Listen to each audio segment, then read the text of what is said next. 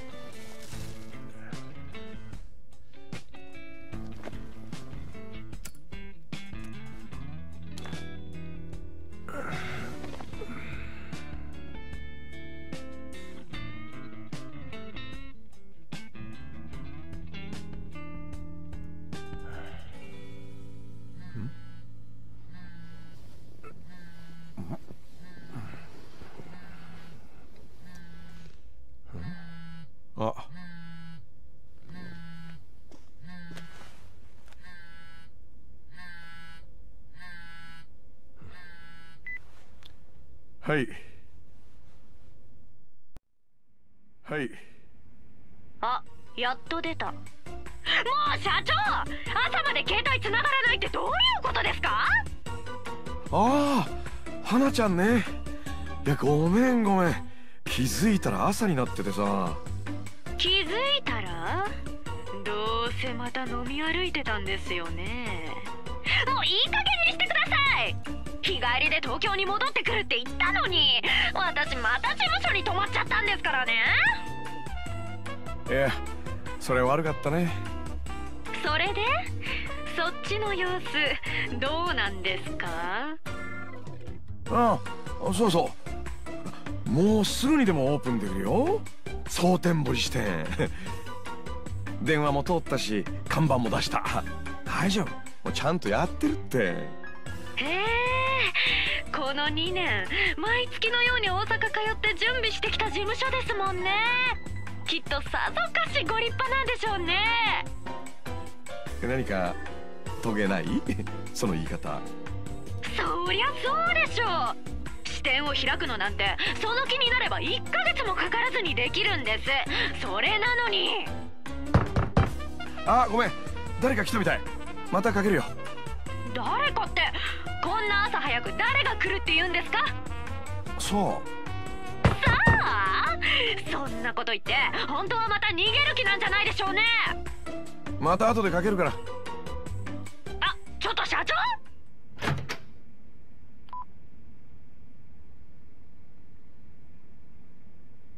やっとご在宅ですな、スカイファイナンス班。いつ来てもお留守なんで、営業する気ないんかと思いましたがな。まだオープン前でしたね出直してもらえると助かるんだけどせやけどね、この辺でビジネス始めよう言うんなら、まずうちら通してもらわんと困りますがな。どちらさんですかね近江連合の袴だっつうもんですわ。近江連合。そういうこっちゃ。で何の御用でしょ何でもこちらさんは無利子無期限でいくらでも貸すって話やないですか。ほな1兆円ほど融資してくれまっか。うああはいはい。朝からご苦労様でした。あんた方相手にしてあげるほど暇じゃないんでねお引き取り願えますか？なめとんのかおめああああ新品でまだ開封もしてないのに。おう極道甘く見とると痛い目合うで。あんたらさ素人舐めすぎてやしないか？なんやと？みかじめ欲しくて来たんだろ？だったらそう言えばいいのに。そうすりゃこっちも話くらい聞くのにさ。朝っぱらから喧嘩をしてこられちゃなんかイラッとするんだよね。あ？兄ちゃんわしらとやり合おう言うんか？よく言うよ。そっちが先にふっかけてきたんだぜ。上等やないかい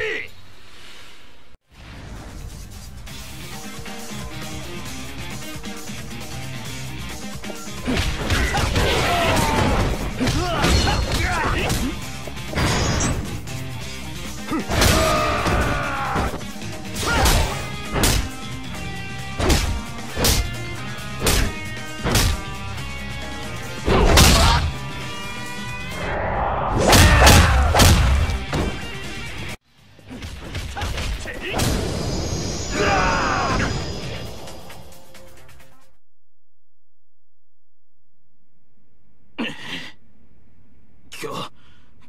ところはこれくらいで許しといたる。覚えとけや。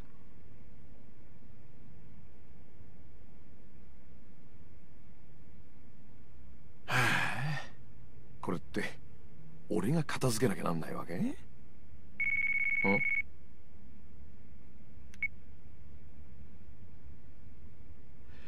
はい。もしもし。社長よかった。あの大変なことが。え？今ダイナチェアの堀江さんから電話があったんです。パク社長が昨べ自殺したって。なんだって？それで堀江さんパク社長がうちから借りてるお金の件で話がしたいそうです。私今秋山さんが蒼天堀にいることを伝えちゃったんですけど。分かった。それでいい。早速行ってみるよ。それじゃ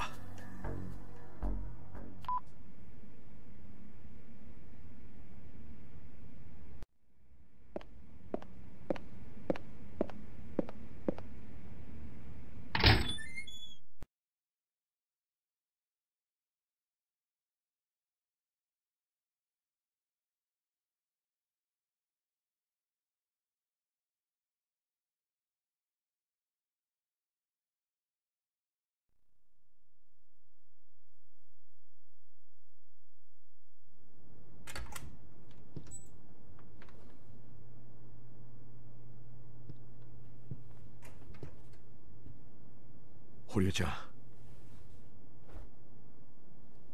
あ、秋山さん。驚きました。さっき大阪にいらしてるって聞きましたけどそれにしてもまさかこんなすぐお会いできるやなんて。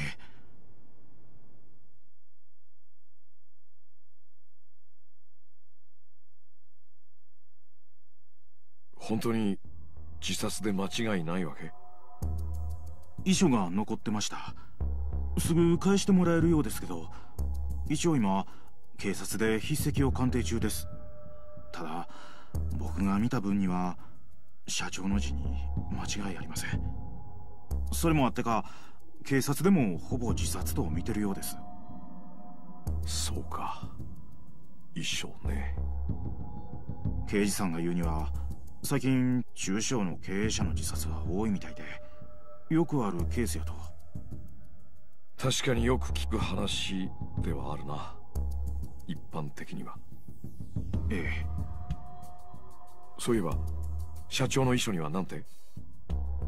文面はすごい短いもんでした。こう書いてあったんです。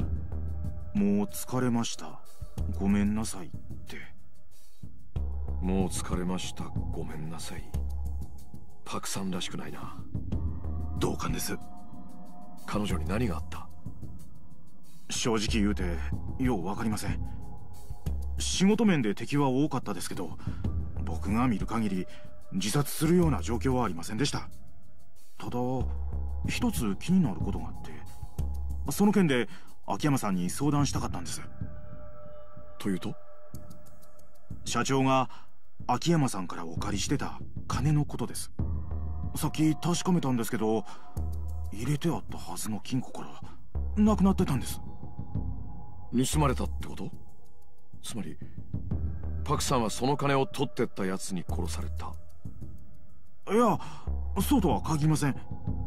社長がいつの間にかどこかへ移動させてたっていう可能性もありますし社長が管理してた帳簿が見つかったらなんかわかるのかもしれませんけどそれもまだ見つかってなくて。ただ盗まれた可能性もあるっていうことは秋山さんにお伝えしときたかったんです。もしそうやったら正直なところ返済の見込みが立ちません。まさか堀江ちゃんに払えなんて言わないよ。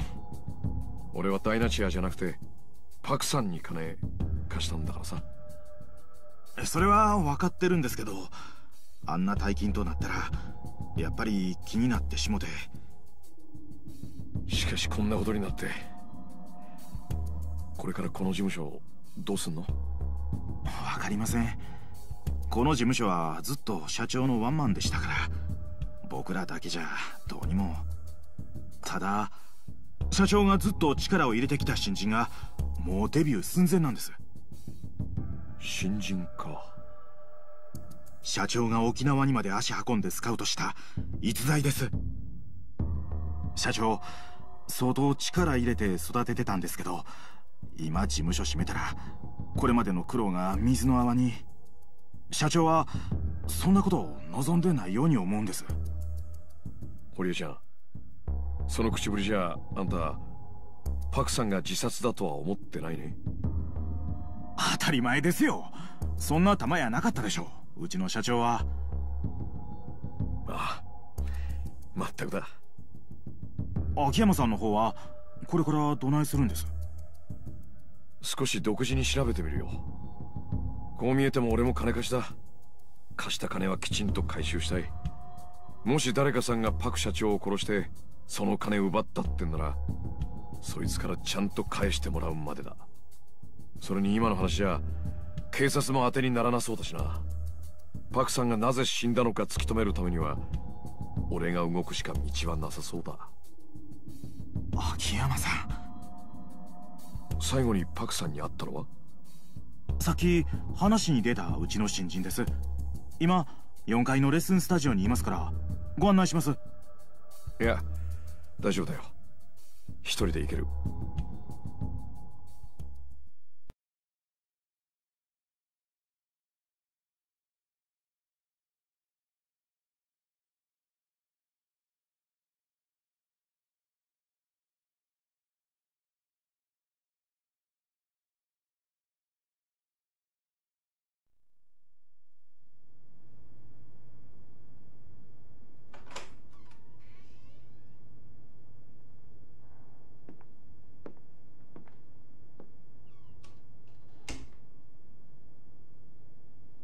失礼。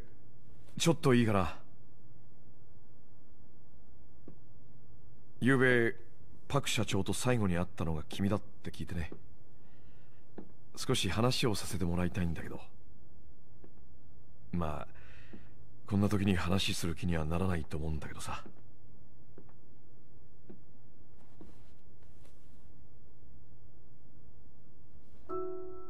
君ははるかちゃんか？桐生さんところ。秋山さん？君なのか？パク社長が売り出そうとしてた新人っていうのは。そういやさっき堀江ちゃんが沖縄がどうこう言ってたけどこんな偶然もあるんだな。秋山さんの方こそどうしてここに？実は俺パクさんに金貸してたんだよ。社長が秋山さんに？ああ。彼女関西の金貸し連中には融資をみんな断られちゃったみたいでね。そんな時カムロ町になら無担保無制限で金を貸してくれるところがあるらしいって噂聞いて彼女はすぐ東京へ飛んだ。それがスカイファイナンス。つまり俺の会社だったってわけだ。一年ちょっと前の話だったかな。社長そんなにお金に困ってたんですか？ああいやそうじゃなくてそのなんていうか別にパクさんが食うに困ってたとかそういうんじゃなくて額が額だったからちょっとね。いくらだったんですか？あのそのえっ、と3億円？3億ってそんなに？そう。ところが今その金がどこかに消えちまったらしくてね今まさにそれを調べようとしてたところさ。そそれじゃまさかそのお金がなくなったことで自殺を？可能性としてはある。ただ俺に言わせればそれはありえないな。どうしてですか？俺はさ自分のポリシーとして金を貸す前に相手がどういう人間か見極めるためにいろんな無理難題をふっかけてテストをするんだよ。いわゆる俺流の厳正な審査ってやつ。そのテストをクリアできなかった人間には絶対に金を貸さない。蒼天堀からわざわざカムロ町まで来たパクさんは俺の出した無理難題を見事に乗り越えた。俺のとこに金を借りに来る客はその大半がその場しのぎの金欲しさにやってくる。だから金のために土下座はできても命を張ることはできない。まあそれが普通だ。だけど彼女は必死だったよ。自分の夢をつかむために石に立ってかじりつく勢いだった。夢？そう。夢さ。彼女は金を借りに来たんじゃない。夢を買うために金を手に入れようとしてたんだ。命がけでな俺の持ってる金はそういう人間に使われてこそ初めて生きるって俺は思ってる。そのために空から降ってきたんじゃないかってね。空？ん？ああごめんごめん。今の話は余計だったな。とにかくパク社長には夢があった。そしてどんな屈辱を受けても諦めない強い意志でずっとその夢を持ち続けていた。だから俺は思うんだ。パク・ミレイという女は自分から死ぬような人間じゃない。はい。だからというわけじゃないんだがはるかちゃん。辛いとは思うが協力してほしい。君は昨日パクさんに会った最後の人間だ。何か気づいたことがあったら何でもいい。教えてくれないか？秋山さん。ん？社長は自殺なんかじゃありません。多分誰かに殺されたんです。そうとしか思いません。だからだから私も一緒に連れてってください。え？お願いします秋山さん。私も一緒に社長に何があったのか私も確かめたいんです。お願いします参ったな。あの一応聞くけどダメだって言ったら素直に言うこと聞く？わけないよね。君なんてったってあの桐生さんと一緒に生きてきた女の子だもんね。はい。さてと。まずはそうだな他殺を証明するってことになるとやっぱり自殺の現場を見ておく必要があるな。はるかちゃんにはショック大きいかもしれないけど。大丈夫です。OK その意気だ。でパクさんはどこから飛び降りたって？屋上です。このビルの5階。なるほど。まあとにかく行ってみることだな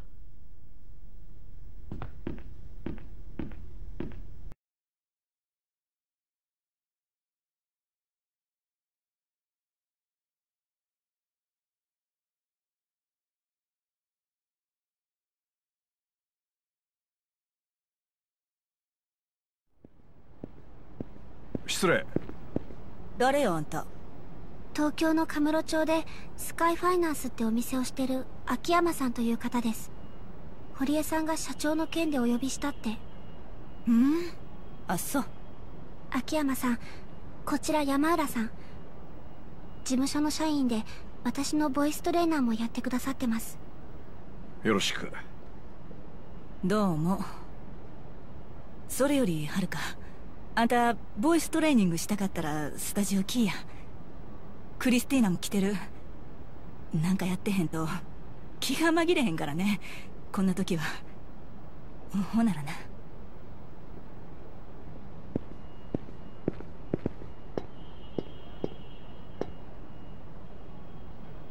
さてとここが現場ってわけか。はるかちゃんパク社長が飛び降りた時間って？今朝6時頃近所で何かが落ちたようなドンって大きな音が聞こえたそうです。なるほどね。飛び降りたとされる場所はどこかな？秋山さん社長はこの場所から飛び降りたんだそうです。なるほど自殺を偽装するには楽な場所だ。そういえばやっぱり靴は揃えておいてあったのかな？ええそうだったみたいです。マニュアル通り自殺のお手本といった感じか？そういうところもパクさんらしくないんだよな。なんだか誰かが自殺を演出しているようにしか思えない。そうですねここから飛び降りるって高さどれぐらいなんだろう？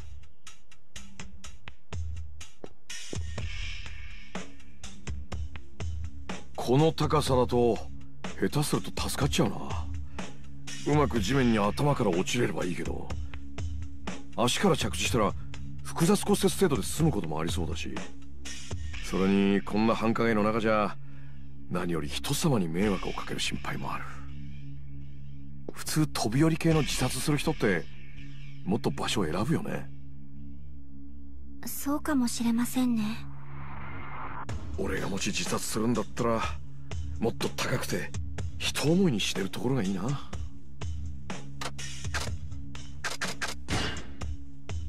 今わかるのはこれぐらいか。もういいんですか？秋山さん。ああ。ただ自殺が偽装されたって証拠は見当たらないな。一旦下に戻ろうか。はい。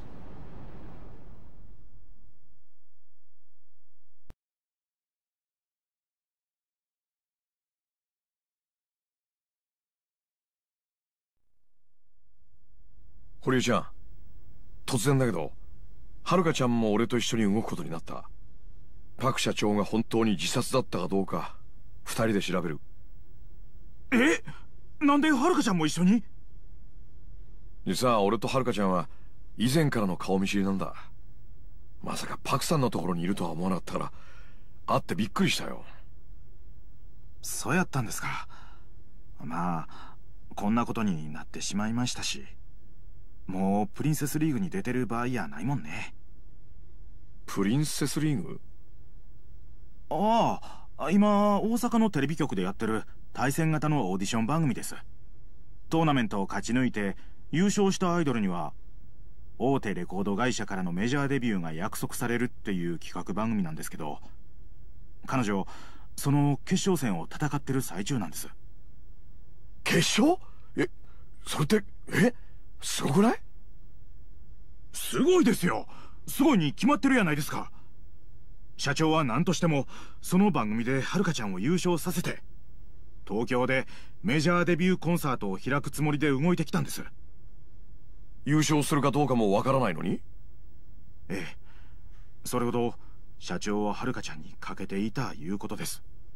そやけど社長が亡くなってしもた今番組に出るのもどうかと思いますししばらくははるかちゃんも番組とかへの出演を控えた方がええかもしれません。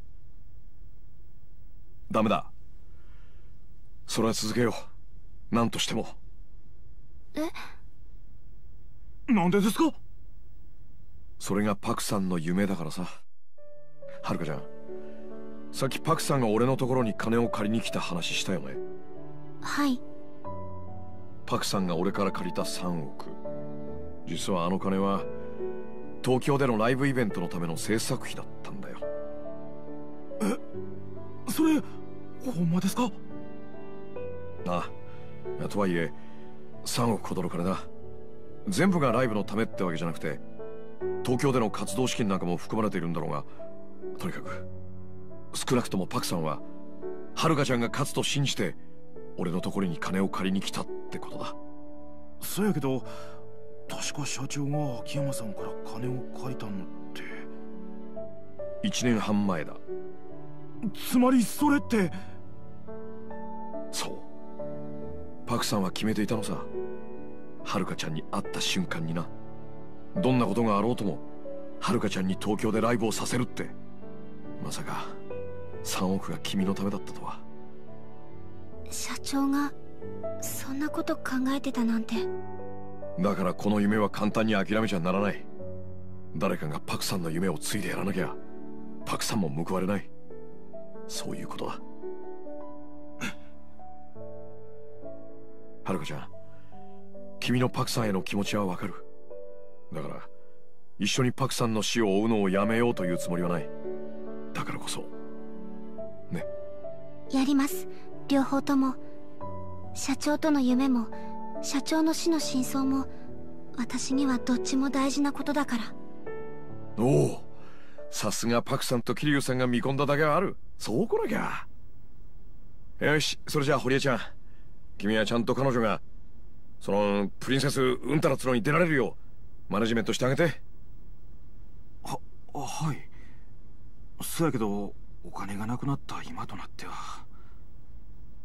だからその3億を取り返して夢を叶えるんだよ。それがパクさんの死を調べる意味だと思ってる。秋山さん。わかりました。でも社長の死を調べるって一体どうすればいいんですか？やはり決め手は遺書だな。遺書？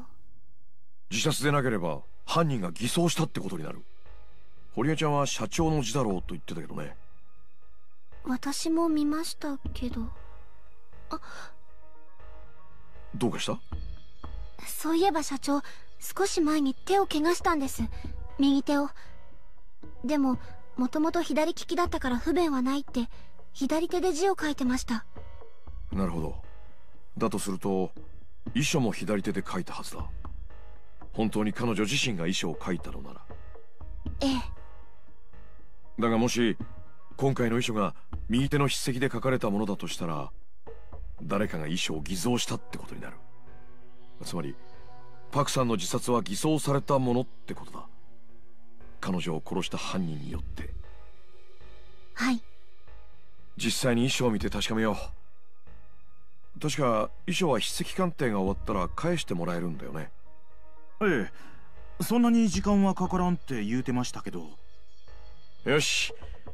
それじゃあそれまでは一旦待つとするか。俺も自分の会社のこと少しはやらなきゃいけないし。はるかちゃんもやりたいことがあったら今のうちにやっといた方がいいいえ私はここでずっと待ってます。こんな大事な時に他のことをしている暇なんて。今だからこそだよ。え？君はまだプリンセスリングの決勝戦もあるんだろ？暇が本当になくなるのはこれからだよ。だから時間に自由の利く今のうちにやれることはやっておいた方がいい。そうですね。わかりました。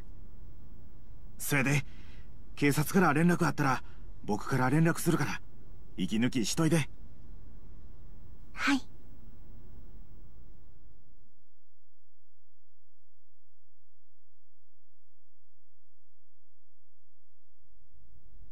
ああ今後のためにアドレス交換いい？はいもちろんです。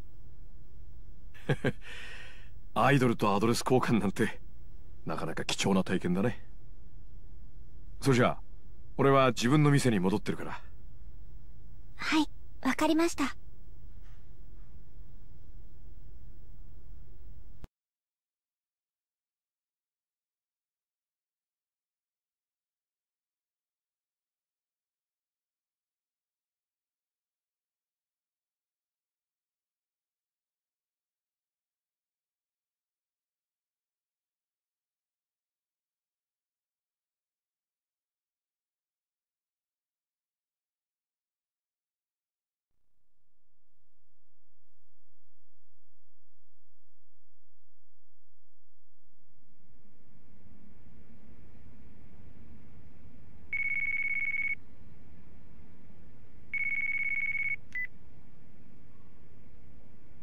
もしもし？秋山さんですか？沢村です。いや何かあったの？そろそろ堀江さんが警察から戻ってくる頃だと思うんですけど電話しても連絡が取れなくて。うん。何か問題でもあったのかな？それが分からなくて。だからダイナチェへ様子を見に行こうと思うんです。それ俺も行こよかった実は一人だと心細くて。じゃあダイナチェアの入り口で待ち合わせでいいですか？う OK 問題ないよ。じゃあまた後で。失礼します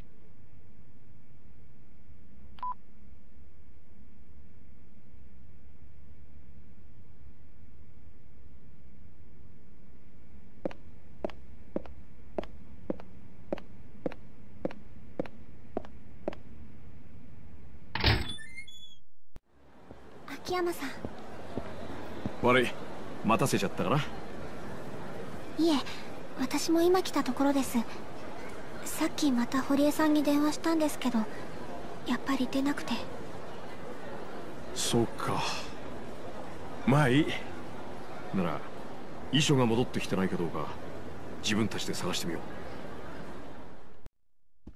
う。パクさんの遺書か。どこにあると思う？警察から戻ってきてるなら社長室の中だと思います。社長の遺品をまとめて入れたお盆がありましたから。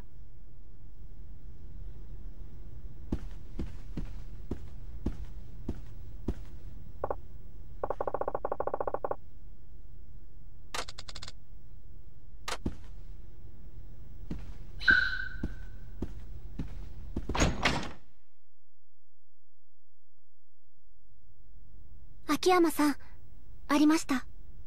こいつがパクさんの遺書か。あとは彼女が左手で書いた字もこれと一緒に見られるといいんだけどどこかにないかな。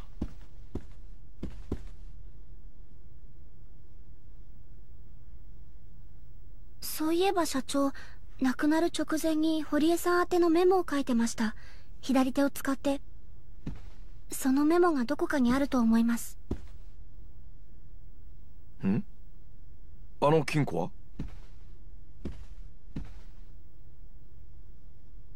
鍵がかかってる。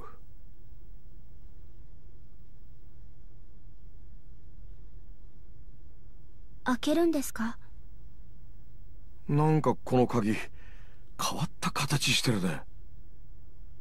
え？見てごらん。鉛筆でも突っ込めそうな感じの鍵穴だ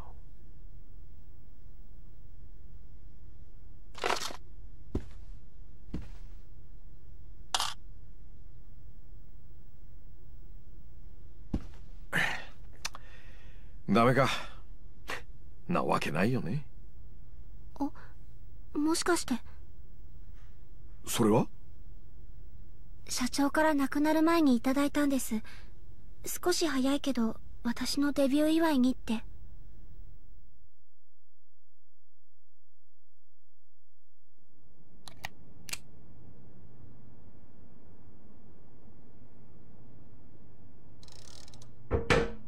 開いたマジ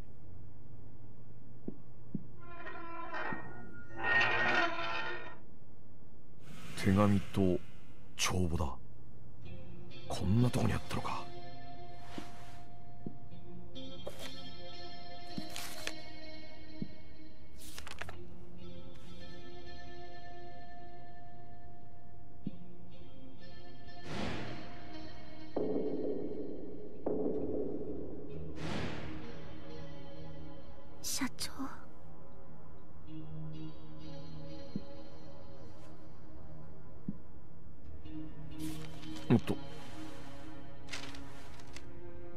社長が亡くなった日のメモだ。不在の時にちゃんとできるように細かな指示が書かれてるね。多分それです。堀江さんに宛てて書いてたメモは。つまり左手で書いた文字ってことだね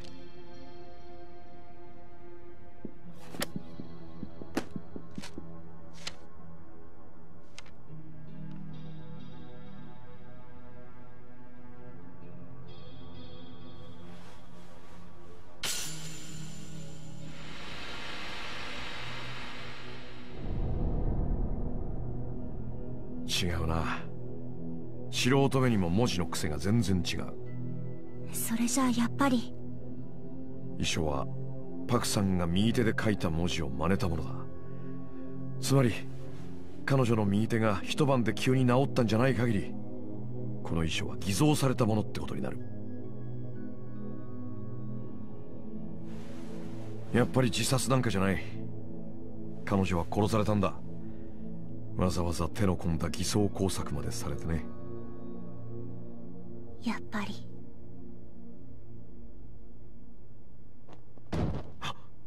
何の音だ？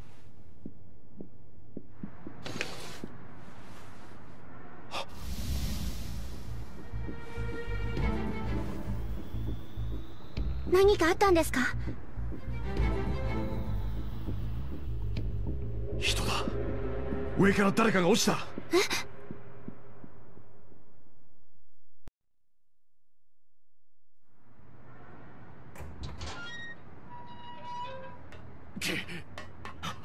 おい待て。秋山さ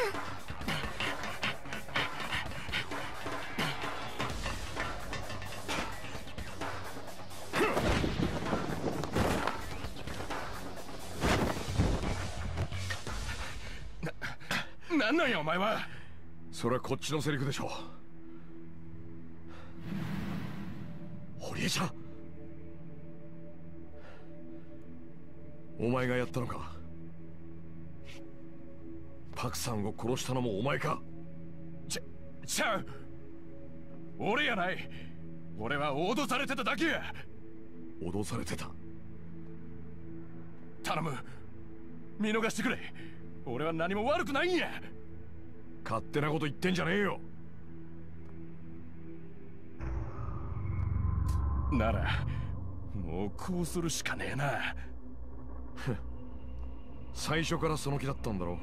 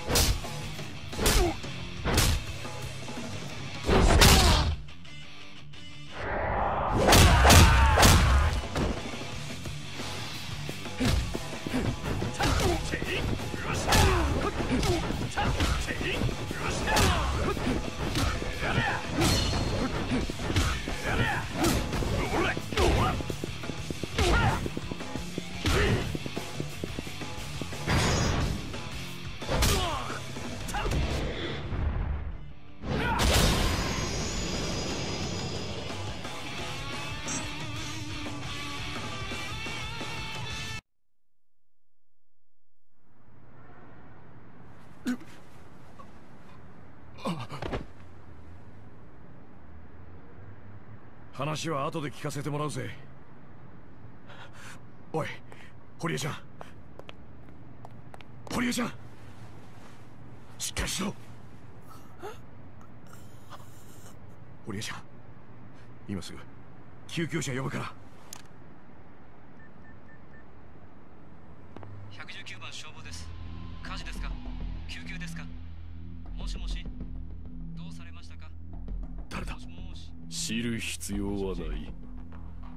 すぐ楽にしてやる。火事ですか？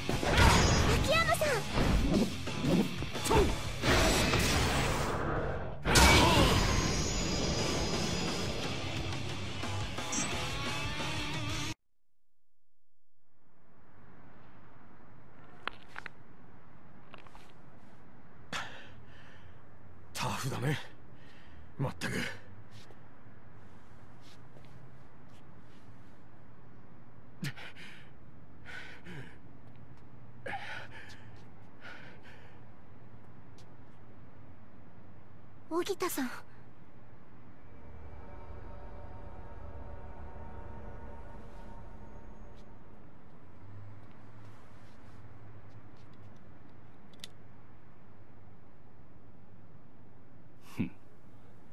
その顔覚えたで。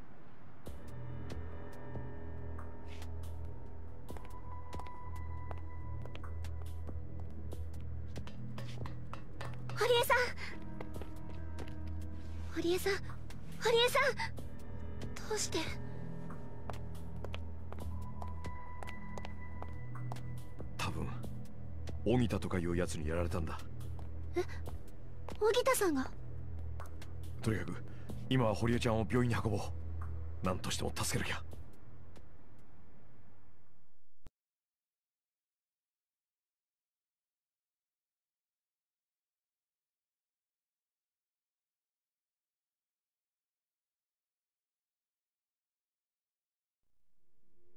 荻田寛はすぐに見つかると思いますわ今大阪中に緊急手配しています。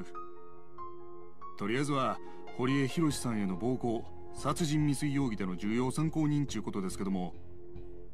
でもまあきっとパク・ミレイさんの件では引っ張れないでしょうな。どういうことですか？さっきも話したでしょ。あの荻田っていうのにはパクさんとの間にトラブルがあったって。それってパクさんの死を解明する上でも重要な事実なんじゃないですか？せやけど例の件はもう自殺でほぼ固まってますからね。なんせ警察の方針としてパク社長を自殺と断定しちまった手前その情報だけで再捜査というのはちょっとね。そんな。さっきの現場には銃を持った本職の連中までいたんですよ。何かないと考える方が逆に不自然だ。まあそれも含めて荻田を捕まえれば明らかになるでしょう。この先は我々に任せといてください素人さんが首を突っ込めば危険なことにもなりかねませんのでね。それでは。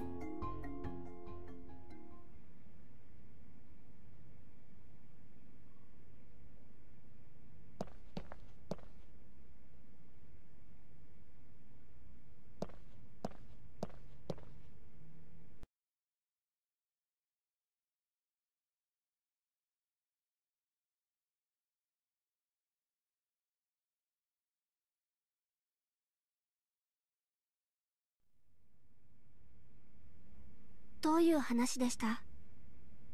警察はあくまでパクさんの死と荻田は関係ないっていう見方のようだよ。そうですか。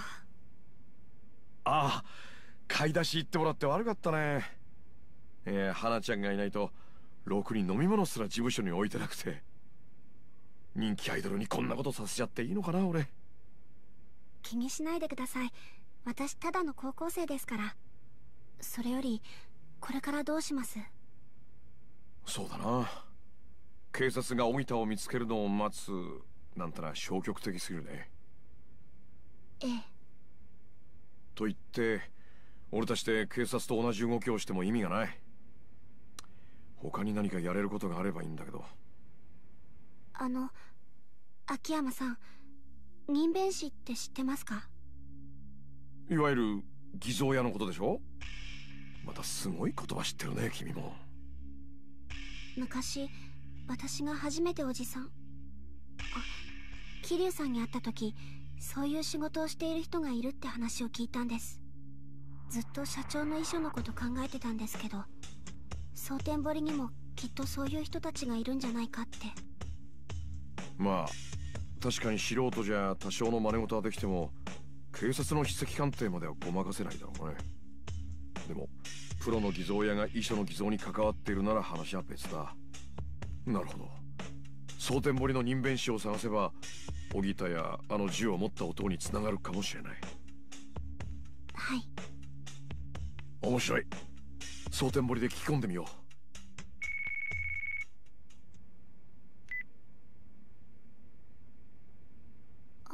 私です。沢村です。はるか？今大丈夫？はい。あの堀江さんは？大丈夫。一命は取り留めたわ。安心し。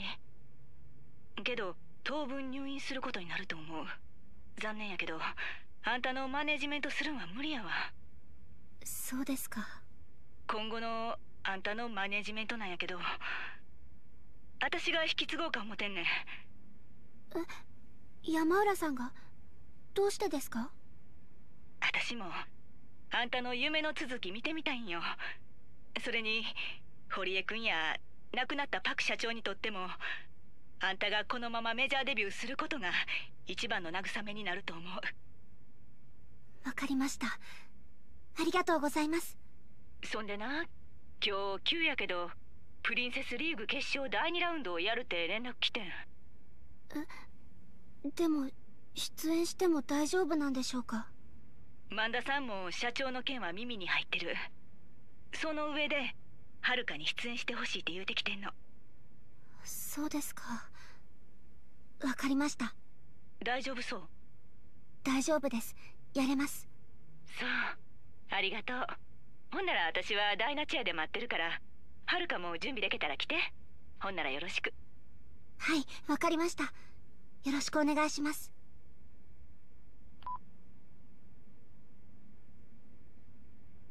すっかりタレントだなはるかちゃんも。そんな。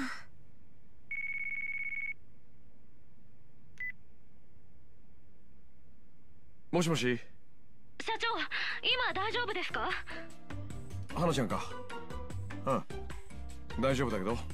パク社長の件どうでした？ああ話すと長くなるな。今度ゆっくり話すよ。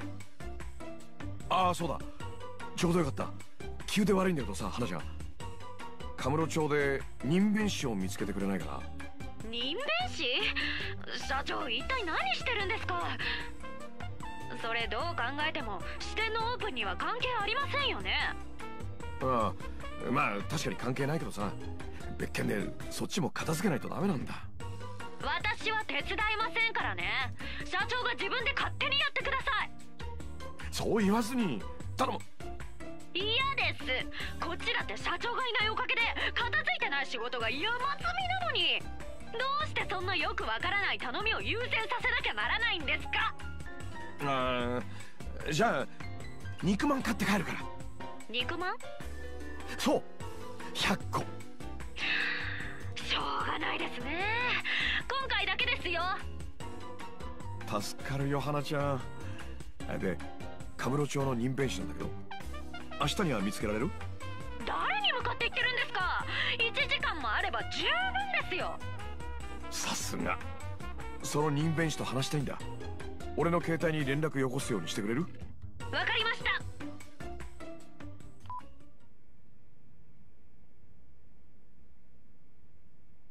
これでいい。人弁師のことは人弁師に聞くのが一番だよ。俺は花ちゃんから電話が来るのを待ってるから君はプリンセスリーグに出るといい。後でダイナチェアでお茶を。はいわかりました。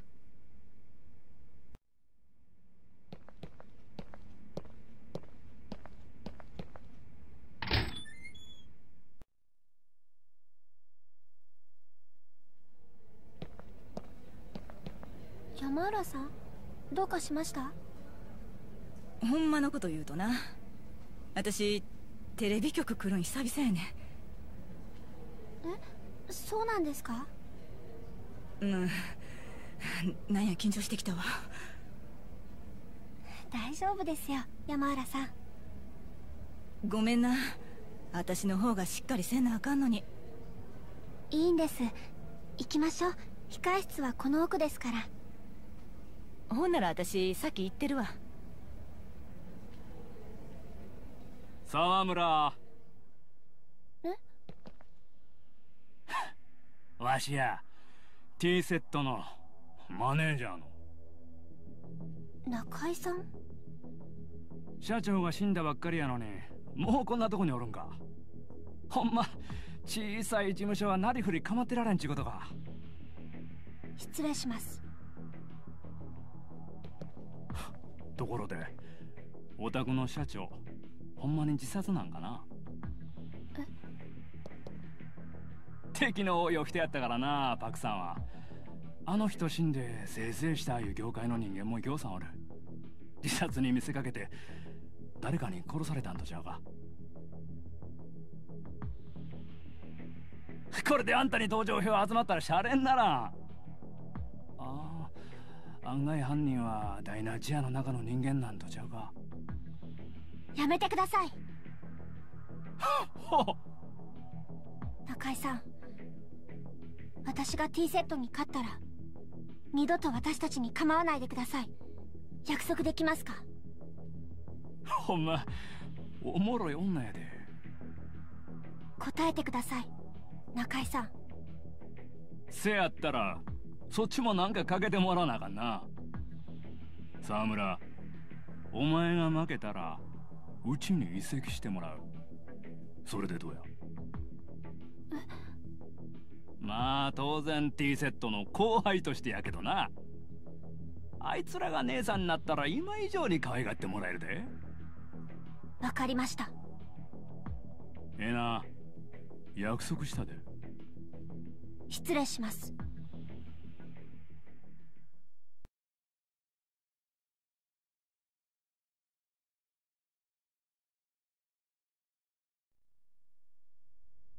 なんでそんな勝手な約束したん？堀江君かて相手にせんのが一番やって言うてたやろ？黙っていられなかったんです。すみません。それがあの中一マネージャーの手なんよ。前はこうなったらあいつらの鼻明かしたろ。あんたやったらできる。T セット引きずり下ろしてまずは大阪のトップアイドルになるんやはい。よし。ほんなら今日の衣装に着替えて。しっかり頼んだで。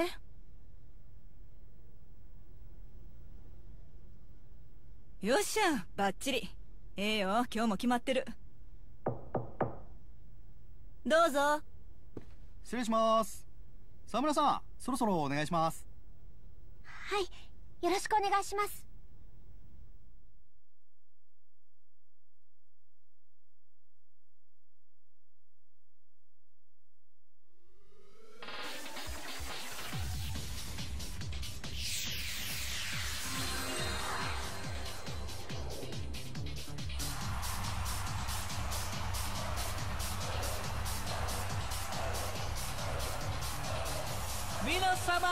機嫌いかがでしょう？タイム。司会のドルチェ神谷です。アイドルたちが繰り広げる仁義なき戦いは巷で大反響を巻き起こしちゃってます。早くもテンションクライマックス。トップアイドルへの登竜門プリンセスリーグ。決勝戦第2ラウンドを迎えました。対戦ルールは前回と同じ。会場の皆様は優れたパフォーマンスをしていると思うアイドルのステージ近くへと自由に移動しちゃってください。ライブ終了時あなたに近いステージのアイドルを指示したことになるので要注意ですよ。さあそれでは第1ラウンドからデッドヒートを演じてくれた2組のアイドルをご紹介しましょう。まずはこちらのアイドル。光る個性が混じり合い生み出す力は無限大。優雅な立ち振る舞いは王者の風格すら感じさせます。完全無欠の最強デュオ T セット。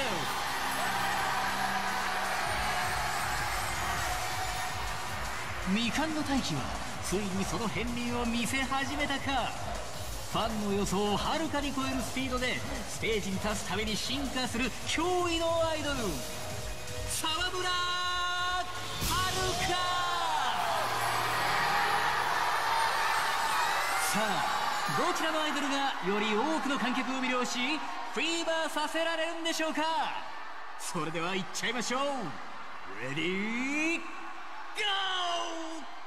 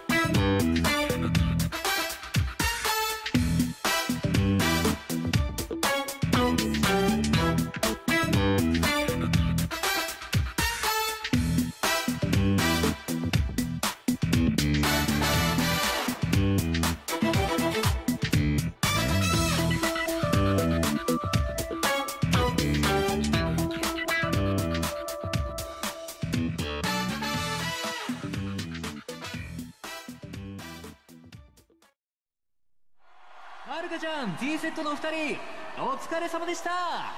2組とも素晴らしいパフォーマンスでしたね。ただしこのステージはライブバトル。どちらがより多くの観客から支持を得られたのか確認しないといけません。さあそろそろ結果の集計が終わったようです。今回の勝者はどちらのアイドル。優勝の行方を大きく左右する第2ラウンドを制したのは？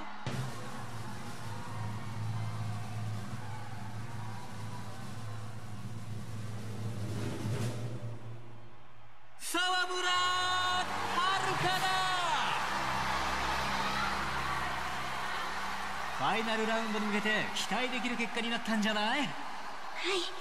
とっても嬉しいです。ファイナルラウンドですが自信はどう？抱負を聞かせてください。正直自信はありません。でも優勝したい気持ちは誰よりも強く持っています。だからファイナルラウンドでは私の思いを届けられるように精一杯頑張ります。はるかちゃんサンキューです。とても強い意気込みを感じるコメントでしたこれはファイナルラウンド期待するしかないでしょう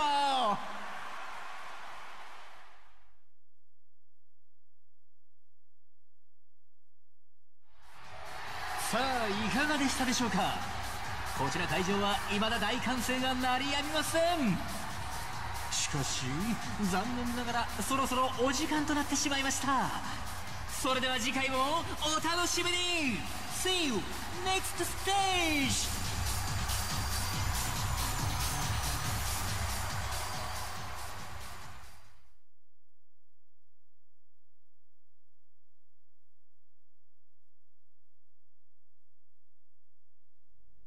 よかったではるか。次はいよいよ最終決戦や。T セットも必死で挑んでくるはずや。最後の最後まで全力で頑張ってこ。はい。うん。ほんなら蒼天堀戻ろう。秋山さんと待ち合わせしてんやろ。ええ。せやけどほどほどにしいや。私としてはほんまは空いた時間はレッスンに当ててほしい思てる私もクリスティーナもいつでもスタンバイしてるから。ええな。はいわかりました。よしほんなら行こうか。お疲れさん。私は先戻ってるわ。あんたは疲れてるやろし。ゆっくり帰ってきたらええ。はいありがとうございます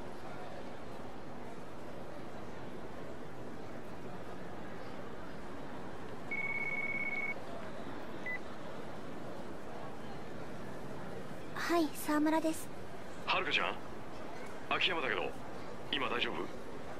秋山さんはい今収録が終わったところです。そっか。じゃあ疲れてるところで悪いんだけどちょっと話したいことがあるんだ。できればあのトレーナーの人も一緒に。山浦さんですか？山浦さんなら先にダイナチアに戻ってるはずです。じゃあダイナチアで集合ってことでいいかな？俺は入り口のところで待ってるから。わかりました。もしかして任弁士が見つかったんですか？期待させて悪いんだけどそれとは別件でね。じゃあまた後で。はい失礼します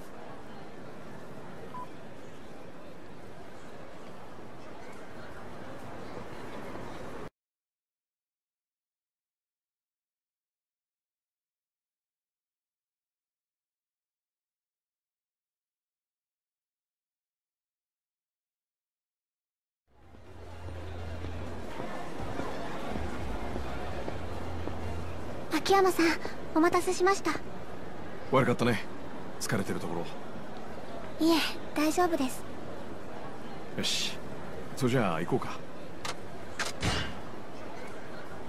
はい。じゃあ行こうか。お邪魔します。はるか。それに秋山さんも。秋山さんがここで話をしたいって。話？ああ話ってのは他でもない。この事務所のことだ。山浦さんあんたにも聞いといてほしい。ええ。それで事務所がどうかしたんですか？さっきパクさんの帳簿を見つけてね。うちが貸した金金庫からなくなってたって話だったけど実際はそうじゃなかった。帳簿で確認したよ。もう使い切っていたんだ。えパクさんははるかちゃんがプリンセスリングで優勝することを信じて事前にデビューイベントを興行するための準備をしてた。ええそれは知ってるわ。社長ずっと東京でライブイベントやるって話してたからな。でもさそれがとんでもないのよ。パクさんは本当にとんでもないステージを用意してたんだ。3億もの大金が消えたわけも分かったよどういうこと？彼女の抑えていた会場は日本ドームだ。え？日本ドーム？新人のメジャーデビューイベントで？そんな人数集まるわけないやん。彼女のことだから何かしら考えはあったんだろう。今となってはそれもわからないけどね。道理で社長が東京のイベント会場を教えてくれへんかったわけや いくらなんでも無茶すぎるって。でも社長にとっては日本ドームでコンサートをやることが重要だったんだと思います。どういう意味？社長言ってました。アイドルだった頃の社長があと一歩のところで立てなかったステージが日本ドームだったって。多分あの場所にはいろんな夢が詰まっていたんだと思いますはるかちゃん。君はどうしたいんだ？社長が残してくれた舞台が日本ドームにあるのなら私はそこに立たなきゃいけないと思うんです。パク・ミレイの夢を継ぐ最後のアイドルとして。けど言うても社長も堀江君もおらなどないもん。山原さんあんたがいるじゃないか。私？はるかのマネジメントぐらいやったらともかくコンサートの上なんか無理や。んそんなノウハウ持ってへんもん。私もいますよ。クリスティーナさん。海外でもっと大きな規模のイベントを仕切ったこともあります。私が山浦をサポートしましょう。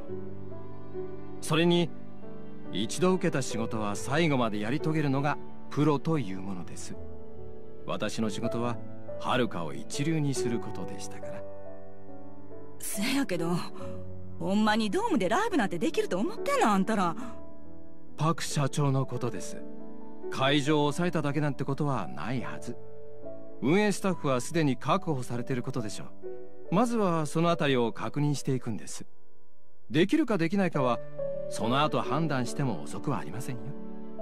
山浦さんお願いします分かったわ。ほなもう少し様子見てみる。ちょっと時間ちょうだい。秋山さんその帳簿見せてくれる？何がどこまで進んでるんかお金の流れ見て方々問い合わせてみるから。それでこそダイナチェアのスタッフですよ。山浦。ありがとうございます山浦さん。今日からこの事務所のボスはあんただ。あんたならパクさんも納得してくれるはずだよ。堀江ちゃんもね。空を機に。はるかちゃん後のことは山浦さんたちに任せて君も自分なりの準備を進めるんだ。それが社長との約束だったんだろ？いいね。ありがとうございます。秋山さん。おおかかってきた。はるかちゃん多分カムロ町の任弁師だ。ええもしもし。スカイファイナンスの秋山社長。ええそうです。あんたの秘書って女の子から連絡もらってね。あんたと話せってさ。任弁師さんだね。カムロ町の。いちいち確認は取らなくていい。何か仕事か？悪いんだけど頼みたいのは偽造の仕事じゃない。もちろん報酬は払うけどね。実は大阪の任弁師を紹介してほしいんだ蒼天堀界隈にいないかな？何を頼むつもりだ？遺書の偽造。ある人の筆跡を真似て偽の遺書を作ってもらう。なるほど。それなら一人心当たりがいるよ。連絡先わかる？さあな。仲良しってわけじゃないんでね。ただ蒼天堀の宝願寺横丁にバークレストって小さな店があるはずだそこのマスターに聞いてみな。どうも。礼は花ちゃんから受け取ってくれ。よろしく。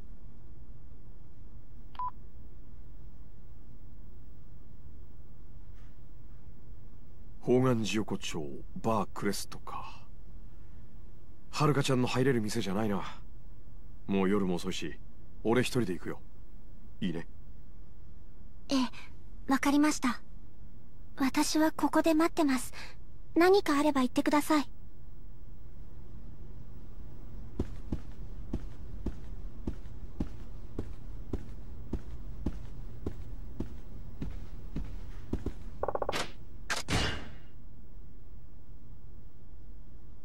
こ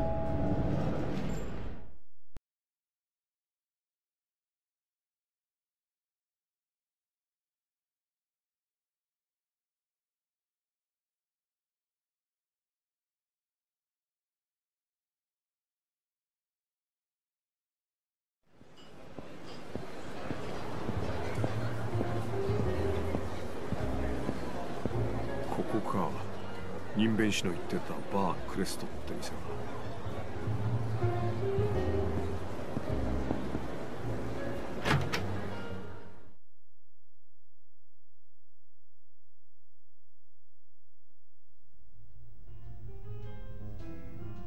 いらっしゃい。どうも。あんたよそもんか？なんでまたこんな小汚い店に？小汚い。味があって結構な店だと思うよ。ふん。注文は？そうだな。衣装を偽造してほしいんだけど。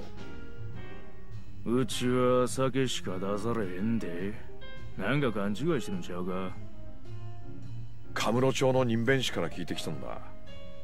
俺はこういうもんでね悪いがもう店閉めるとこや。帰ってくれ。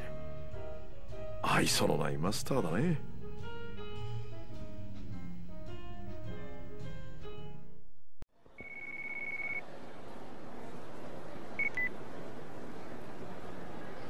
はいもしもし。秋山さんか？お宅は？さっき店で話したばかりや。バークレストのマスター。はやっぱりあんたが人弁士あいやそうやないけどあんたに合わせたい人間がおる。小副長の駐車場に来てくれ。今すぐにや。こっちの都合はお構いなし。嫌なら結構や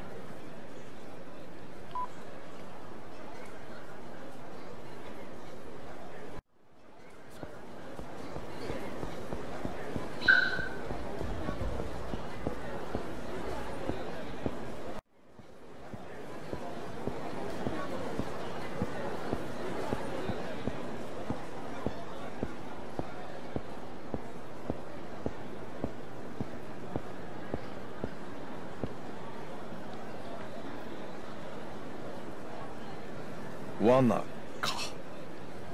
あんた何者や？名刺渡したろ？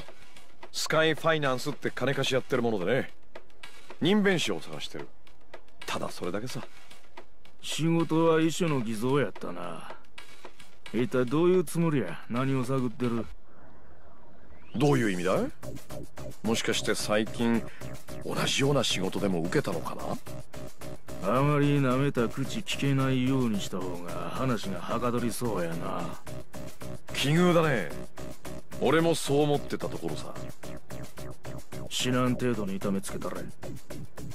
悪いけどこっちも色々あって気が立ってるんだね。遠慮せずにやらせてもらう。死んでも文句言うなよ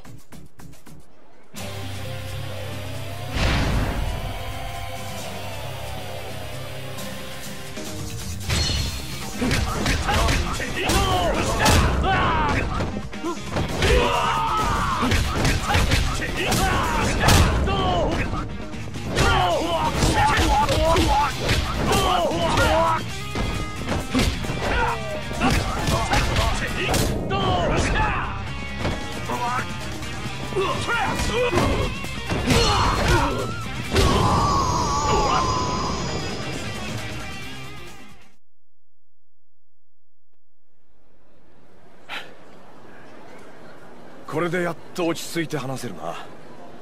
くそ。ダイナチアのパク・ミレイ知ってるな？誰も助けに来ないぜこんな場所時間はいくらでもある。素直に話さないとこれ以上優しくできないよ。分かった。彼女の衣装を偽造したんだろ。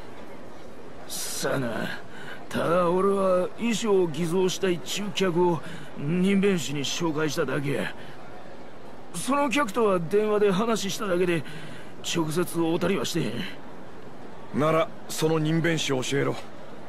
そいつのところへ連れてってもらおうか。分かった。案内しよう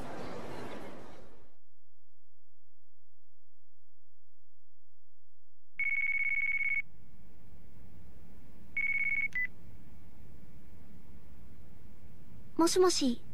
秋山だけど。はい。あの任弁士見つかりました？見つけるには見つけたんだけどね。ちょっとはるかちゃんに協力してもらいたいんだ。え？私に？何をすればいいんですか？それがちょっとね。高岩寺横丁のバークレストに来てくれないか。大至急だ。そこってカムロ町の任弁士に聞いたお店でしたよね。そういうことじゃあ待ってるから頼んだよ。ええわかりました。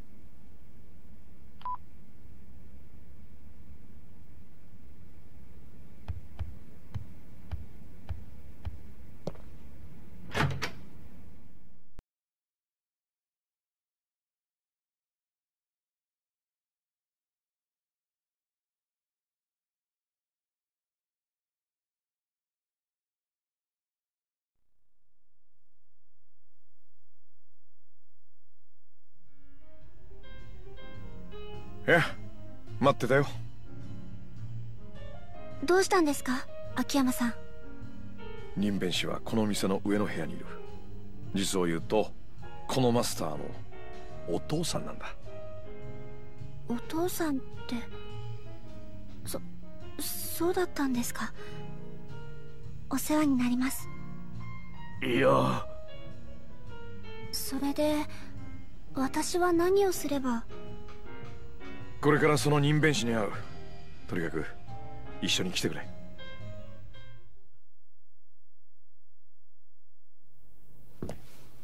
ここだ。はい。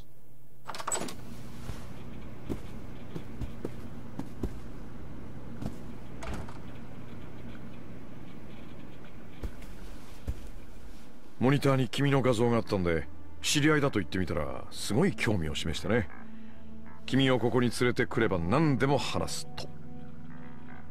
これって？最近の任弁士ってのはこんな仕事もやるらしい。まあ任弁士さん。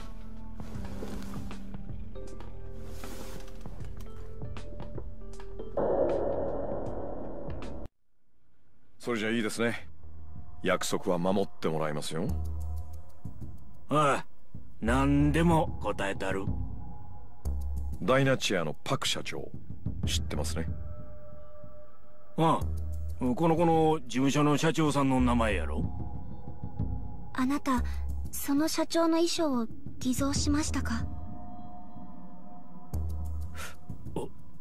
ああ。誰にそれを頼まれたんですか？客の名前はいつも聞かん。それがこの商売の基本や。せやから名前はわからんどんな人でした？ちょうどあんと一回り大きくしたような格闘家みたいな体格しとった。多分筋もんや思うけど。俺が事務所でやり合ったやつかもしれないな。パクさんが亡くなった夜に急に頼まれた。パクさん直筆の手帳から筆跡にせて遺書書いてくれ言うてな。多分そん時にはもうパクさんは亡くなってたんや思うわ。その男に会いたい。どこに行けば会える？今話したこと以外わしは何にも知らん。次にいつ来るかなんてわからんしな。それじゃどうしようもないな。ただその依頼人の男いっぺん街で見かけたことがある。車の中やったんやがその依頼人の男が運転して後部座席には別の男が乗っとった。多分その男がボスや。でもそんな情報だけじゃどうにも。この話はこっからが店や。実はその後部座席に乗ってた男最近テレビでよう見る顔なんや。誰ですか？勝谷直樹。今飛ぶ鳥落とす勢いの大阪芸能ってタレント事務所の社長や。大阪芸能？ダイナチェアとは商売敵になるわけだな。大阪芸能の勝谷直樹。そいつがパク社長を殺した黒幕なのか。わしが知ってんのはこれだけや。十分ですありがとうございます。それはそうとはるかちゃんプリンセスリーグの決勝ちゃんと出るんやで。え？実はわしな若い頃あんたとこの社長さんパクさんの大ファンやった。社長の？こない偽物ばっかし作るような家業をしとるとな作り物はすぐに見抜けるようになってまう。作り笑い作り話それに顔そのものを作られた人間全部や。世の中偽物ばっかしや。テレビにしてもほんまのことなんかほとんどあらへん。けどなたまに見かけるんや。ほんまもんの人間がありのままに生きて頑張っとる姿っちゅうの。そういう時こんなわしでも心が救われる気するわ。民弁士さん。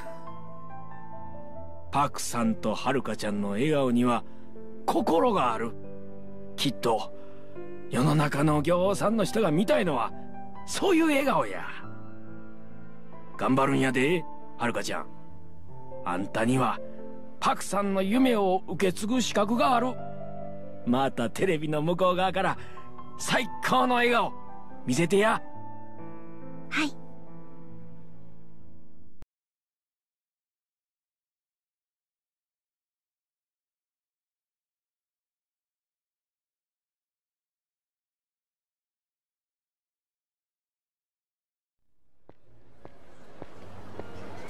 まだ何とも言えないけど大阪芸能の勝也って男に会ってみるしかないな。今から行ってみますか。いや明日大阪芸能に直接乗り込む。会社にいる時を狙って不意打ちするのがいいだろうね。君は大阪芸能に顔が割れてるだろうし俺が行くよ。それでいいね。ええお願いします。よしそれじゃあ今日のパクさん事件の調査はここまでにしようそういや腹減ったな。どうだい？たまには夕飯一緒に食って気晴らしでもしないか？こっちに来てからはるかちゃんとは暗い話ばっかりだったろうな。何でもご馳走するよ。そうでしたね。ごちそうになります秋山さん。よしそれじゃあ何食べようか。そうだな。大阪って言えばたこ焼きか？いや夕飯でたこ焼きってのもなんだな。お好み焼きにするかいやちょっと待て。よく考えたらはるかちゃん大阪に住んでんだもんな。そんなもの食い飽きてるだろうし。うん。あの秋山さん私は何でも。えー、大阪の名物って他に何がある？フグいや焼肉か。いやそういやカニもあったな。え？いやダメだ。はるかちゃんまだ高校生。そんな年寄りが食うようなもの好きじゃないか。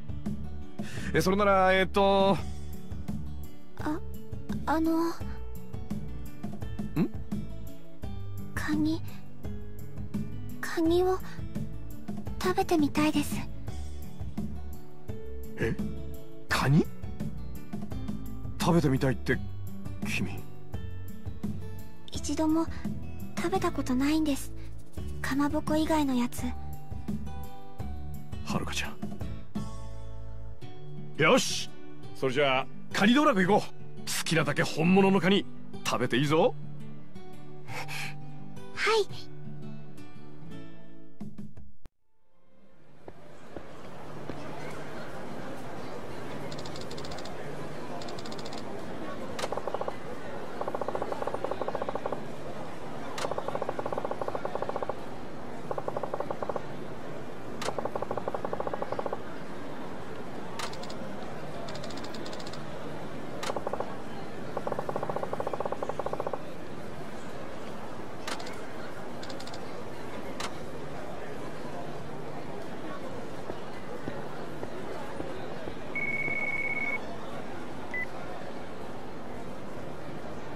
もし山浦やさっき蒼天テレビから明日のプリンセスリーグの交番表送られてきたわ。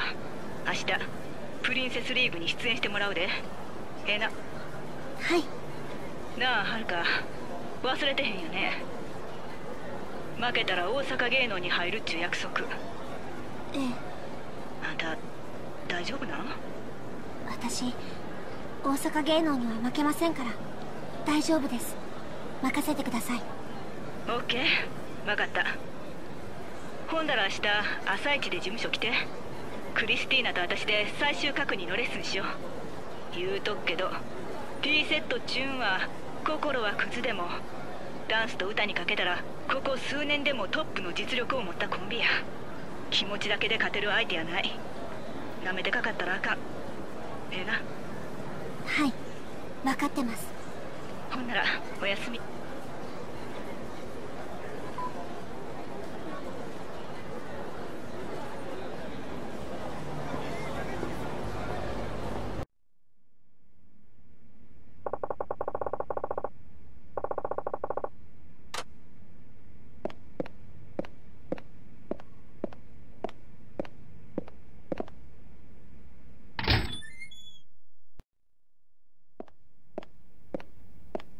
いらっしゃいませ。アポイントされた方のお名前と時間お呼びする担当者の名前をこちらにご記入ください。アポは入れてないんだけどさ社長に繋いでくんないかな。殺されたダイナチア社長パク・ミレイの件で話があるって。お待ちください。よろしく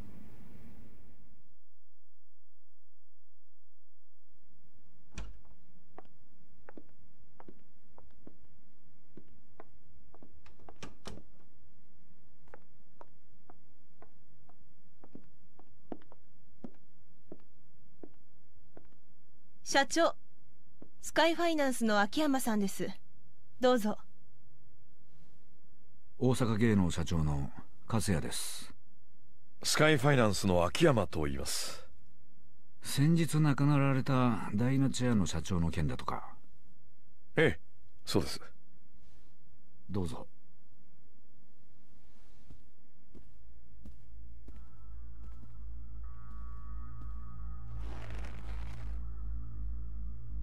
うちとダイナチェアさんとは確かに交流がありますがどういったお話でしょう？勝谷さんは以前俳優をされていたんですね。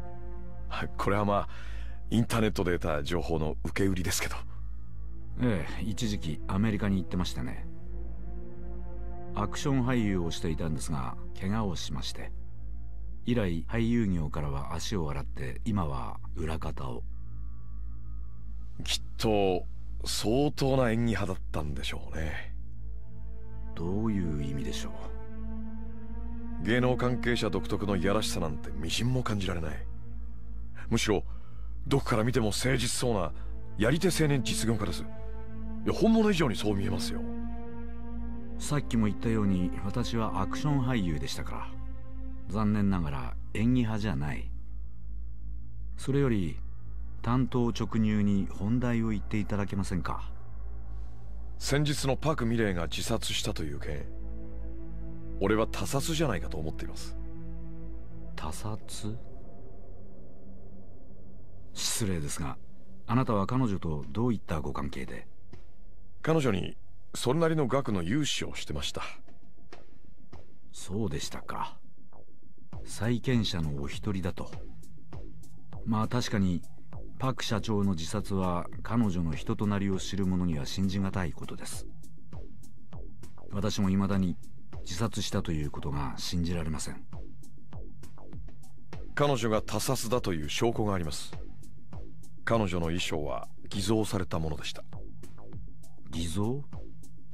そして偽造屋にその衣装を書かせた謎の依頼人はどうやらあなたとつながっている人物のようですなるほど。それでここまで押しかけてこられた。あんたが彼女を殺させたのか？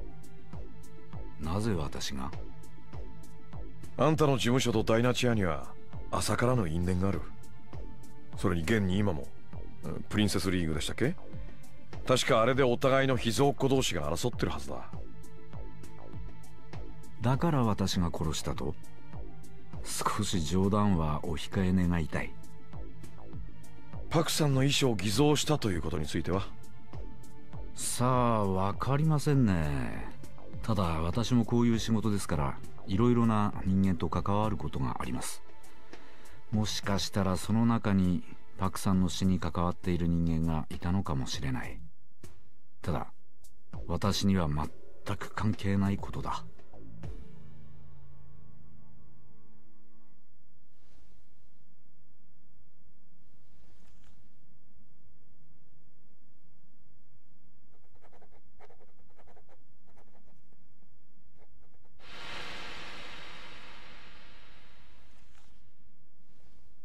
どうぞ。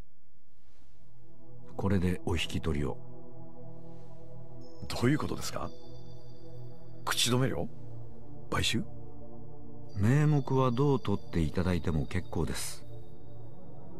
認めるということですか？そうではありません。だが身に覚えのない噂だとしても人一人の死に関わっているなどと騒がれては商売に支障がありますからね。大阪芸能という組織のトップとしてその噂の火種買い取れるものなら買い取りたい。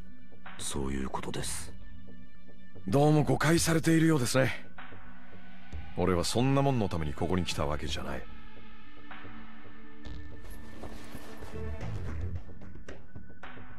勝谷さんあんた本当に演技が上手だね。もしそうなら今でも役者を続けていますよ。こちらも材料が少なすぎたようだ。あんたを見くびってた俺のミスです。今日はおとなしく引き上げた方が良さそうだ。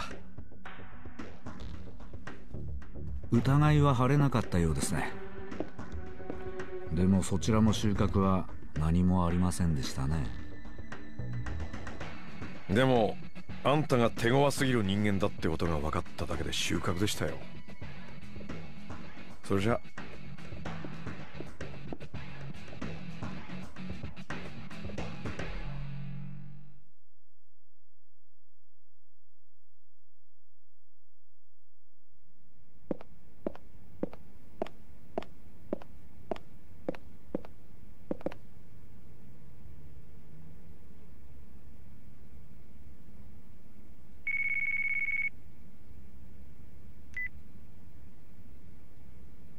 もしもし？秋山さんですね。あんたは？パク社長の自殺の件でお話があります。スカイファイナンスの事務所に戻っていただけますか？こっちの質問に答えてないが。少なくとも私は敵じゃありませんよ。それでは。